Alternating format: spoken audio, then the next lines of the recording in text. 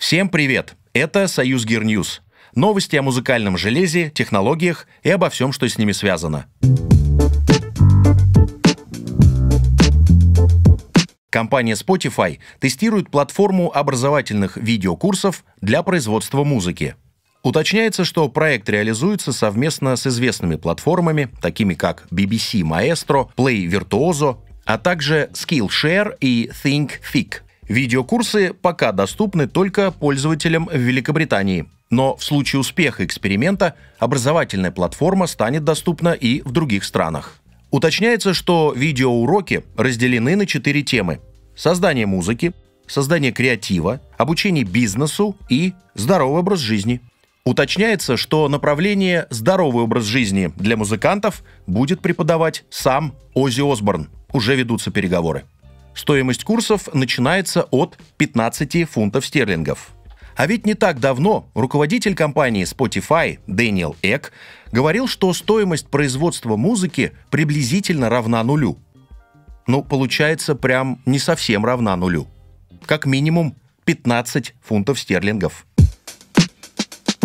Компания AGH Synth представила синтезатор, созданный специально для легендарного композитора Ханса Циммера – его стоимость – 15 тысяч фунтов стерлингов. Отмечается, что инструмент создан по специальному заказу композитора и представлен, ну, конечно же, в единственном экземпляре. В компании-производители называют свой продукт ультимативной модульной аналоговой системой, а самим Циммером проект воспринимается как некого рода музей и возвращение исторической площадки. Инструмент объединяет 48 модулей, созданных инженерами вручную – Презентация синтезатора ожидается на открытии площадки BBC Radiophonic Workshop до конца этого года. Получается, что и для легендарного композитора Ханса Циммера, автора музыки к таким известным фильмам, как «Пираты Карибского моря», «Интерстеллар» и «Начало», создание музыки тоже не бесплатно. Ну, как минимум 15 тысяч фунтов стерлингов. Яндекс тестирует воспроизведение музыки в новом формате Lossless в своем приложении Яндекс Музыка.